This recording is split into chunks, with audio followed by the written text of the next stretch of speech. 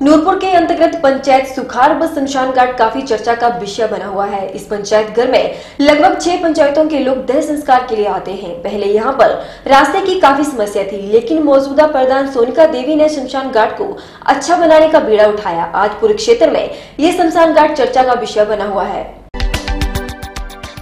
नूरपुर के अंतर्गत पंचायत सुखार का शमशान घाट काफ़ी चर्चा का विषय बना हुआ है। इस पंचायत घर में लगभग छह पंचायतों के लोग दह संस्कार के लिए आते हैं। पहले यहाँ पर रास्ते की काफ़ी समस्या थी, लेकिन मौजूदा प्रधान सोनिका देवी ने शमशान घाट को अच्छा बनाने का बीड़ा उठाया। आज पूरे क्षेत्र में ये शमशान घाट चर्चा का विषय बना हुआ है। शमशान घाट में बने शेड में पायर वृक्ष से बना ढांचा इको फ्रेंडली भी है। यहाँ आए अढ़ाई घंटे में ही शब्द जल जाता है।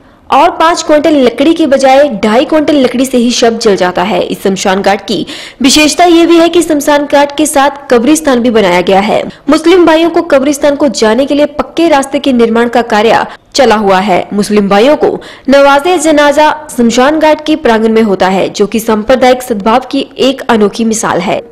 इस शमशान घाट को बनाने के लिए लाखों रुपए खर्च किए जा चुके हैं, जिसमें सांसद नीति, विधायक निधि मनरेगा, जिला परिषद नीति, चौदहवें वित्त आयोग व स्थानीय दानकर्ताओं के द्वारा संपन्न हुआ है। हमारी पंचायत में जो शमशान घाट का निर्माण किया गया है, ये पहले यहाँ की ज़मीन तो बिल्कुल उबड़ खाबड़ थी। फिर उसके यहाँ पे जेसीबी लगा के उसको लेवल किया गया और इसके पास में ही एक खट है, जिसमें उसके पास जो डंगे लगाए गए चार दीवारी की गई और फिर रास्ते का निर्माण किया गया। है ये सब यहाँ के लोग यहाँ के रहने लोगों के सहयोग से हुआ है ये सारा काम। और साथ में कब्रिस्तान है उस, उसका भी निर्माण किया गया। वहाँ पे भी रास्तों का निर्माण हुआ है। और ये सारा काम हमारे विधायक श्री राकेश पठानिया जी जो कि हमारे बड़े भैया भी हैं उनके आशीर्वाद से ही ये सारा काम हो पाया है। और यहाँ पे यहाँ पे 200 लोगों को रोज़गार भी मिला है। मनरेगा के अंतर्गत तो 200 लोगों को रोज़गार मिला है। पंचायत में विकास के नए आयाम हुए हैं।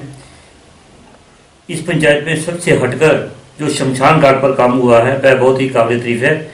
इस शमशान घाट की खासियत ये है कि इको फ्रेंडली है। एक मुर्दे को जलाने में पाँच क्विंटल लकड़ी लगती है, लेकिन इस शमशान घाट का जो ढांचा बनाया गया है फायर ब्रिक से, यहाँ पर ढाई क्विंटल लकड़ी से ही एक मुर्दा जो जल जाता है और समय भी कम लगता है। दो ढाई घंटे में एक बॉडी जल जाती है। तो इस तरह से पर्यावरण की बहुत ज़्यादा फ़ायदा होता है इसका। और साथ दूसरी इसकी इसकी खासियत ये है कि शमशान घाट और कब्रिस्तान साथ साथ बनाए गए हैं। मुसलमान भाई जब अपने जनाजे को लेके जाते हैं तो उनकी जो नवाज़ जनाजा जो है, लास्ट लास्ट प्रेयर जो है, वो इसी कैंपस में होती है, शमशान घाट कैंपस में। और उसके बाद उनके जाने के लिए पक्का रास्ता बना दिया गया है। जो अपने आप में एक मिसाल है।